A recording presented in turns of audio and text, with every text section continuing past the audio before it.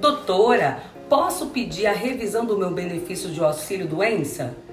Sou a Jusilene Roberto, advogada trabalhista e previdenciarista, e hoje, gente, estarei respondendo essa perguntinha aqui para você, tudo bem?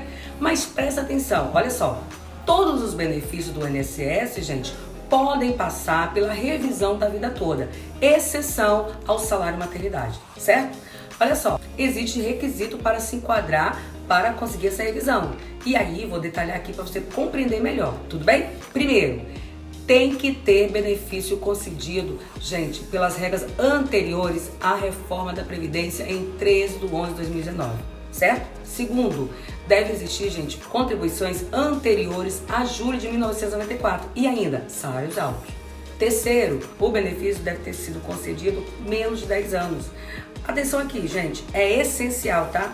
Consultar sempre um especialista para analisar o seu caso. Haja vista, gente, que nem toda revisão é vantajosa para você segurado, tá bom? Ou seja, existe casos, gente, que pode, ó, diminuir o benefício que você recebe hoje. Tudo bem? Deu para compreender a dica aqui? Se deu, marque, compartilhe, salve e segue a nossa rede social. Ah, acesse o sininho aqui para poder o quê? Receber toda vez que tiver um vídeo novo aqui no canal. Até a próxima!